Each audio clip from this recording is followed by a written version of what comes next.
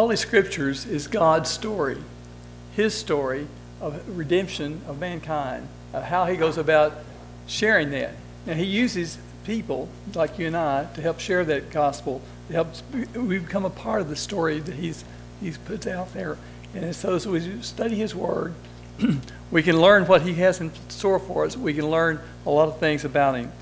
Um, today we're going to be just looking at a small portion of His Word, a very small portion of it, to determine what, uh, find out what He has to say to us today. And hopefully you, you will be able to hear that, uh, what He has to say. Now, the Hebrews, uh, get a little background to our story. The Hebrews were, had been um, in Egypt for about 400 years at this time. They had gone down when Joseph was the ruler. They were very prosperous for the first part of their uh, uh, stay there in, uh, in, Egypt. But it's at one point, um, toward the end of this 400 years period, a new Pharaoh came into power. And things took a turn for the worse. Uh, they become in great bondage and slavery, you might say. They had to do a lot of forced labor to, in order to construct all the pyramids and the building projects that uh, the Pharaoh had planned. And so things became, uh, the living conditions became almost intolerable, just very difficult. During this latter part, Moses was born, the guy that you've heard about many times. Um, he was raised as the son of Pharaoh, and is the son, uh, as a, well, it's the son of Pharaoh's daughter. I'm sorry to say. And uh, as a result, he had the best education that Egypt had to offer, the best wisdom that Egypt had to offer. He became a governmental official. He had a lot of things going on, but uh, he lived uh, in luxury and power.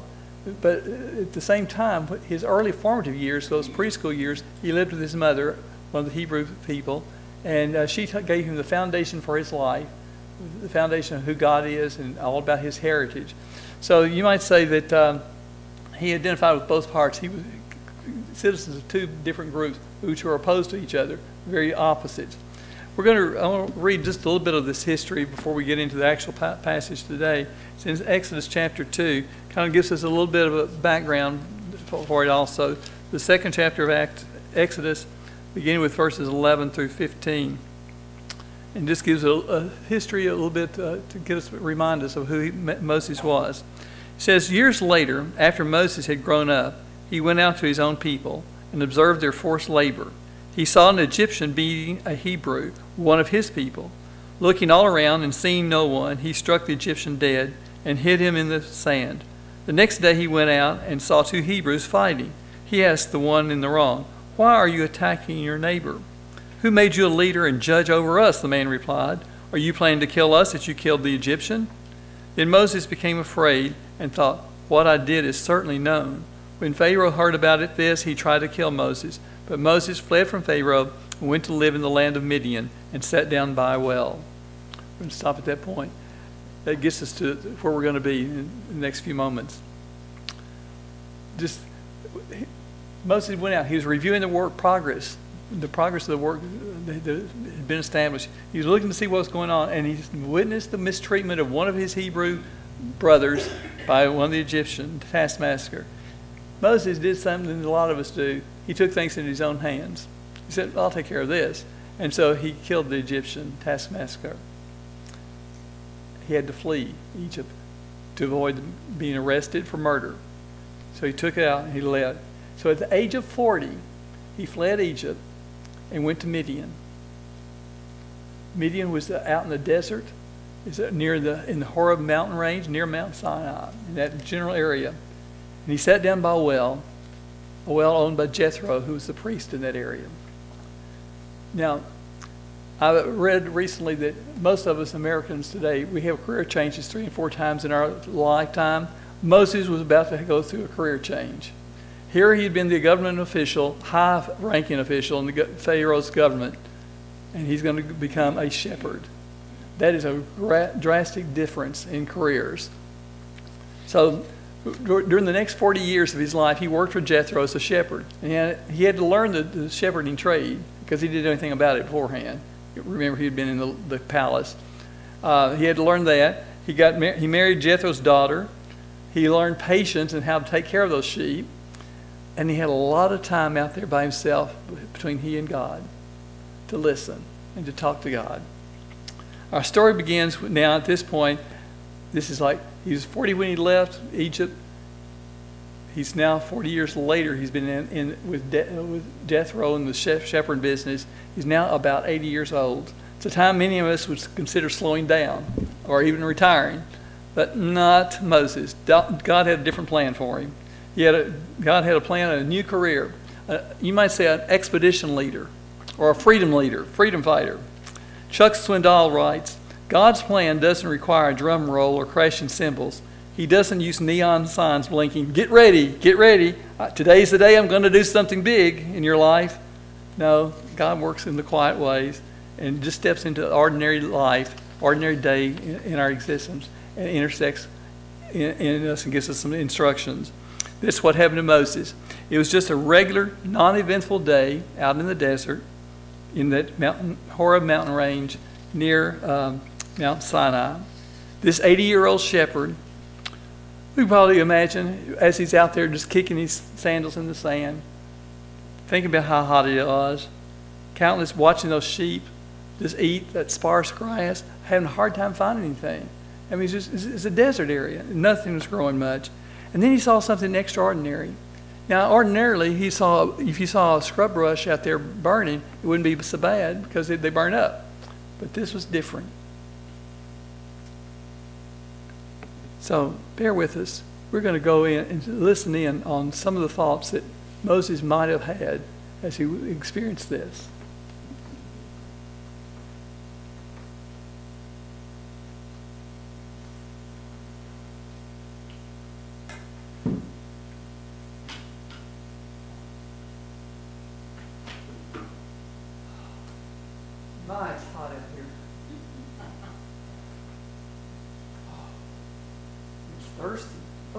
They're sure having a hard time finding anything to eat.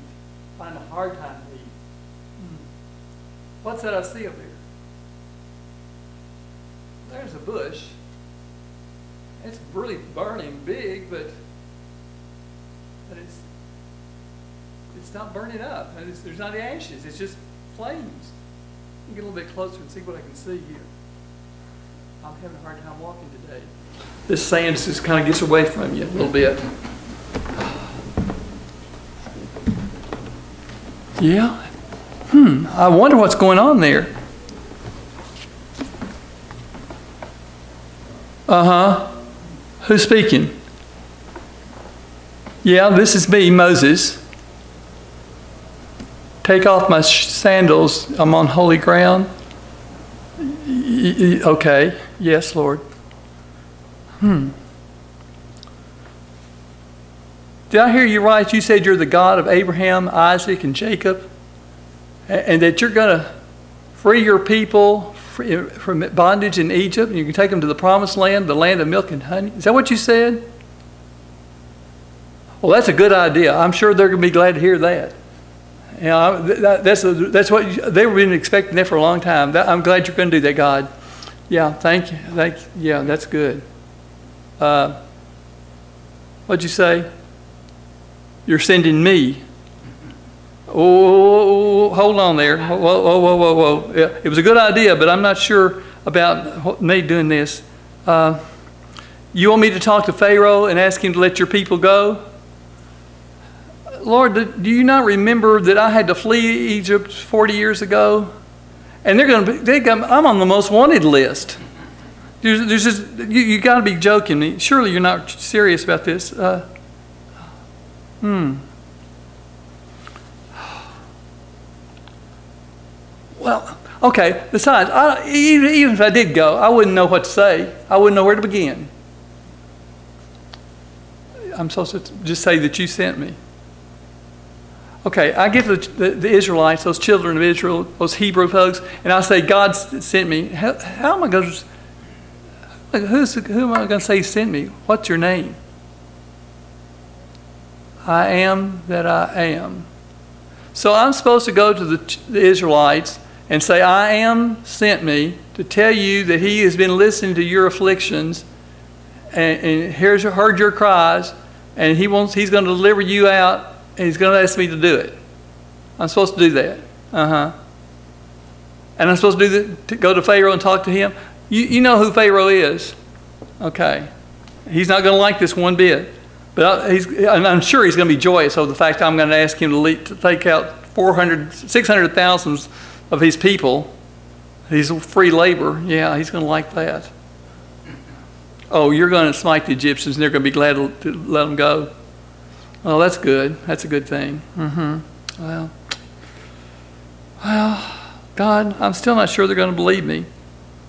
I just, you know, who am I? You know, they're not going to believe me, but oh, you're going you're to go with me. Well, that's good. I would definitely need that. I need you to go with me, you know, to be right beside me and lead me all the way. And you said you're going to strike Egypt, Egypt with miracles or something or other. Okay. What's this in my hand? Oh, oh, this is just a just an old rod. Just, you know, I picked it up. It's just an ordinary old stick, you know. Um, that I used to kind of ward off uh, those uh, pesky critters and and uh, and I guide my sheep, and it just helps me kind of get along too. Throw it down. Lord, I need this walking stick. Throw it down. If you say so.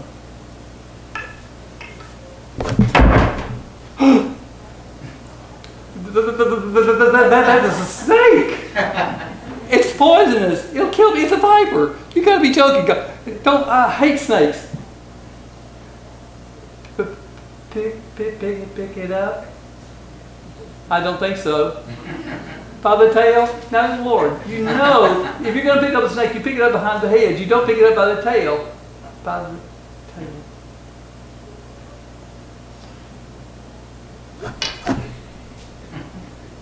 Wow.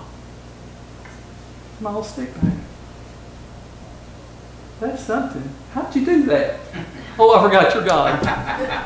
Yeah. Put my hand in my coat. Okay. Take it out. All right. It's white with leprosy. Uh, put it back in your coat. Okay.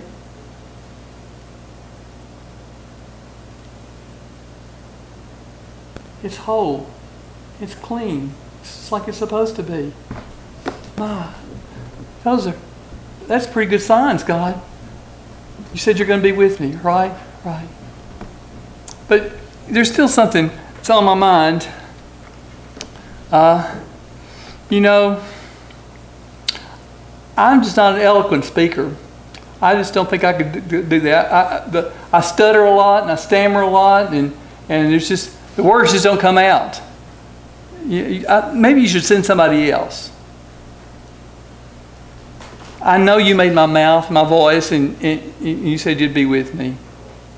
That, that's all well and good, but, but, but, but, please send somebody else. Well, that angered God because Moses not only had some doubts, but he kept questioning and he wanted to send somebody else. So God did. He sent Aaron.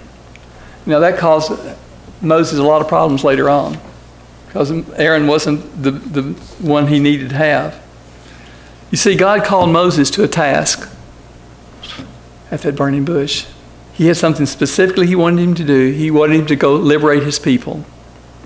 The task was not easy, and it was going to be a challenge. Facing Pharaoh took a lot of courage, and imagine, just imagine going up to the, the, the ruler, or go, imagine going up to your own president and saying something that's totally opposite from what he wanted. But especially to Pharaoh, who had the power of life and death in his hands a Pharaoh, a leader who you're requesting to, to take out 600,000 men plus the women and children. That's a, a lot of folks that's going to be taken out of their, their uh, workforce. It's impossible. No one in his right mind would do that, but God asked Moses to do the impossible. To do the impossible. I thought about this and thought Moses must have been a Kentucky Christian because he had every excuse he could, he could come up with. And don't we in Kentucky, we come with a lot of excuses also. Um, but some of Moses, you know, said, I can't do that. I'm a failure. Uh, you know, I've been working for 40 years as Jethro's son-in-law, and I still haven't saved up the money to buy my own sheep. Uh, you know, that, what if I go down there and I'll be arrested and executed? You know, he came up with excuse after excuse after excuse, and we do that too. One of his excuses, he may have said something like this Sure, I used to be important, but now I'm a nobody. Um, why give me a job? Well, God calls, God's not interested in what we can do on our own. You know, I can identify with Moses. I'm not the best speaker. I stutter and stammer a lot of times get my words turned around. And there's a lot of things I can't do and I don't do as well. But God's not interested in that. He's not interested in what we can do. He's interested in our avail- availability, what we'll allow Him to do. Remember this old rod in the hand of Moses when he was holding it like he was originally. It was just a rod. It was just a stick. It couldn't do anything on its own. But in the hands of God, it became a snake. It became, in the hands of God, it parted the Red Sea. In the hands of God, it opened waters for them to have water in the desert small, insignificant things or talents or abilities in God's hands become valuable. They accomplish much. God calls each of us to follow Him.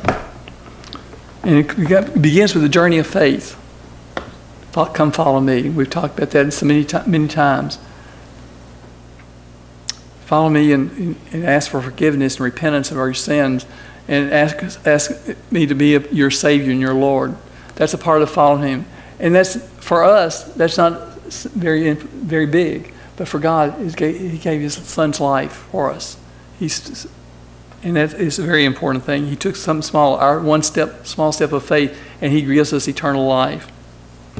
We, the church, we make excuses much like Moses. I'm going to pick on us now. We say, I'm too busy to to go visit the lost person or the unchurched person. I'm too busy to do a ministry contact or do some ministry task. Uh, all, because after all, I've got to attend Bible study on Sunday mornings. I've got to attend worship on Sunday mornings. I've got to be in choir practice if we have a choir. I've got to be in deacons meeting. I've got to do this. I've got to be in my club meetings. I've got to, I've got to, I've got to, I've got to. We come up with a lot of busy excuses civic clubs, football games, basketball games. Got to watch those. I would like to teach a Bible study class, but you know, I just don't have time to prepare. I just don't know enough. My life is just wouldn't be a good example. I just can't do that.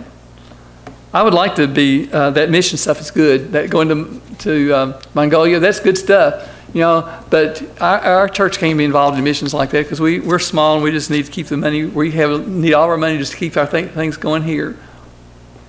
I would fill in the blank, but I would I would trust Christ with my eternal salvation, but I'll do this some other day. I'll trust Christ with eternal salvation, but I might have to give up something that I enjoy doing. So, church, what's in your hand? I see a good building that's used on Sunday mornings. Could be used more, times. What's in your hand? I see a Sunday school that could have more folks involved, more classes. We have the space, we can do more. Christian, what's in your hand? Is it a plan, a position, a career, a schedule, um, a gift, a talent, a situation? A sum of money, a family? What's in your hand that you're holding on to? Now, God dealt with Moses with a glimpse of his power. And we've seen glimpses of his power also. But as long as Moses held onto that stick, there was no power in it. He had to let it go. He had to let it go. As long as he held on to his doubts about the true nature of God, he was just a simple shepherd. He had to take out a step of faith. But when he released it to God, God accomplished much. And there's a song that um, I've sung years ago. It's an old song. It's called Little as Much When God is in it. Some of you may know this. The, the chorus goes, Little as much when God is in it. Labor not for wealth or fame. There's a crown, and you can win it if you go in Jesus' name. Does a place you're called to labor seem so small and little known? It is great if God is in it, and He'll not forget His own. God's with us. When He calls us to do something, and you say, Well, how does He call me to do something? Sometimes He just puts something right here a feeling, an urge, a desire. He puts a, a burden on your heart about something or other. That's sometimes His call. I, you know, I, I know years ago, one of the calls in my life, it was something I couldn't get away from. It's when I felt really called to do youth ministry back in my younger days. And it's something I tried to get away from for a long time, but I kept knowing this is what this is what you want me to do. But I've got I've got a class classes I teach at the high school. I don't have time. I could use some of the same excuses that Moses did. I don't know enough. I'm too young at that point. Now I'm too old. You know, we can come up with excuses. So, what's in your hand, Moses? It's just a rod. Throw it down. Christian, what's in your hand that's holding you on, that you're holding on to? Throw it down. Give it to me, give it to God, and see what will happen. What's your excuse? What's the rod you're leaning on? Whatever it is, whatever's holding you back, whether it be accepting Christ as your Savior or doing the jobs that He wants you to do, the mission He's called you to, throw it down and let God be in control. Throw it down. Throw it down. Andy's going to come and uh, close us out in our worship service this morning. But I pray and hope that you will consider what God's leading you to do. I may not touch on it, but He's ta- talking to you uh, in some way or other, a task that He wants you to do that only you can do as well. I encourage you this morning to give in to what and let it go, throw it down and let it go.